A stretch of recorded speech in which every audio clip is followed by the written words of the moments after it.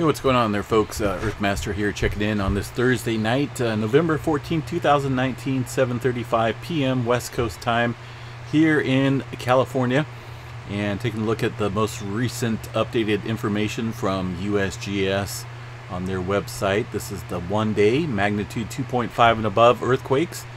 This is the Indonesia Islands region, and we are seeing quite, quite the uh, aftershock sequence here following that 7.1 magnitude earthquake this morning, which uh, triggered a tsunami warning uh, locally within the area.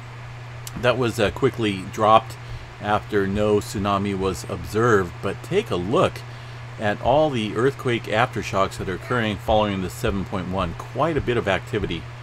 And these are some moderate uh, to somewhat major earthquake aftershocks. A 5.9 right there being the latest, largest one.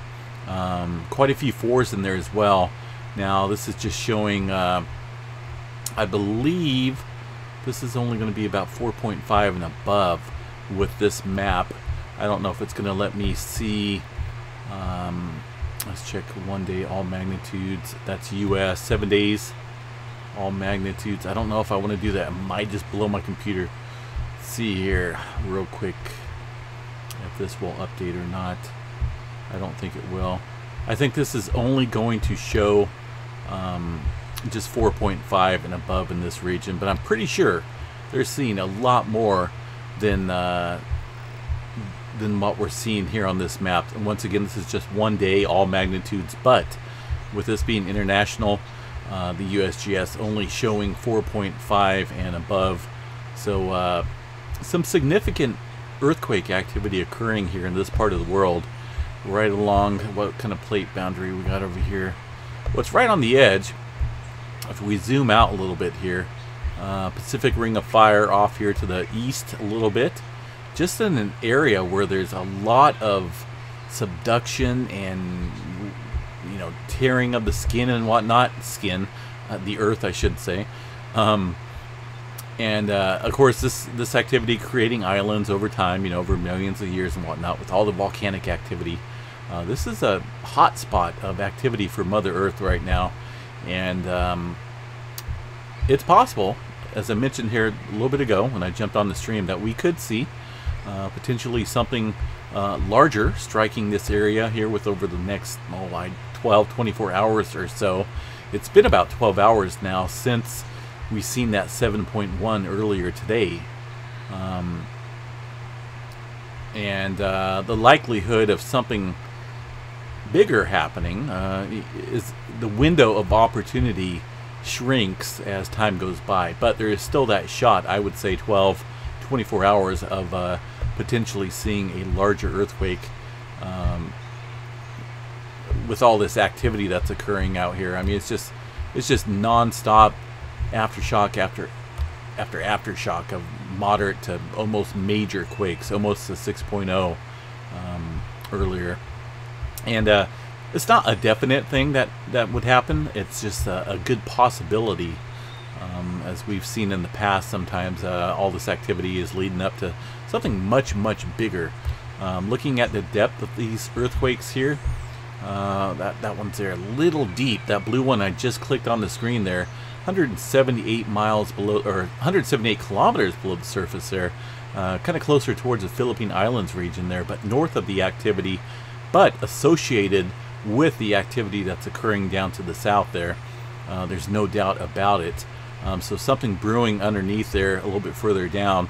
Most of the activity that's occurring is roughly around 35 kilometers uh, below the surface or so. Um, so uh, I think that 7.1 that struck occurred. Let me get rid of that thing right here. I think it was about 45 kilometers. Let me check here and see. Oh, 33. Okay, so it looks like they may have updated that from earlier this morning when I did the update video. So that's uh, it's just something to pay attention to, folks. Uh, looking at the satellite view over here of the region, real quick. Uh, not really going to show too much difference here.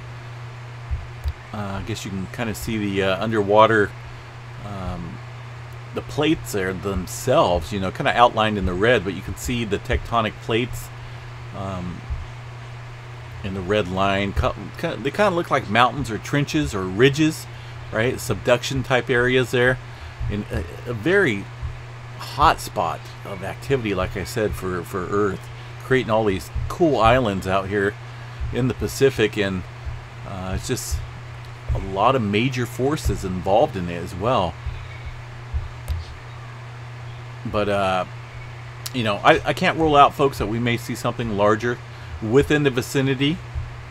Um, it may not necessarily be directly at this location that's taking place, but uh, uh, like I said, I can't rule out anything within this, probably within this map right here that you're seeing on the screen. Um, of seeing possibly a, and it's not really a large geographical location here. It's just pretty small. We got a lot of complex um, plate boundaries and, and fault systems out here and, and volcano activity. Um, so, you know, just we'll see what happens after 12 hours or so if these earthquakes die down or not. But uh, right now they're on the ramp up, and that's uh, it's just I've been watching it all day. It's pretty crazy. And uh, like I say, these this area out here, if we see like an 8.0 or so, there's no doubt it could trigger a tsunami.